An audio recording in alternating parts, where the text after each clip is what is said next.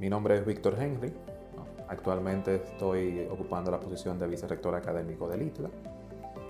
Principalmente mi amor por la tecnología nace desde, desde la niñez. ¿no?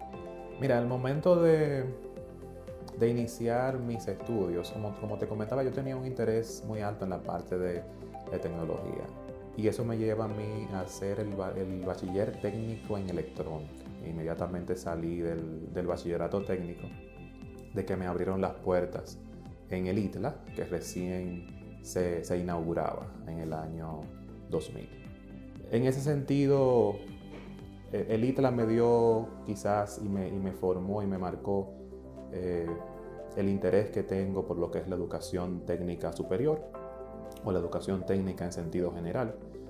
Actualmente tengo un doctorado en liderazgo educativo en una universidad norteamericana, pero mi primer doctorado en la experiencia de lo que es el liderazgo en educativo, pues yo lo hice en, en esas primeras etapas.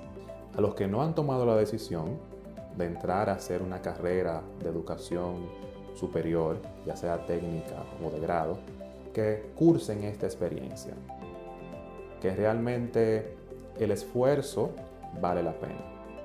Es la única manera de tener un desarrollo sostenido y una tranquilidad que te va a permitir a ti sostener a tu familia de una manera honrada, de una manera honesta y de una manera que tus hijos, tus nietos, pues se van a sentir orgullosos de ti.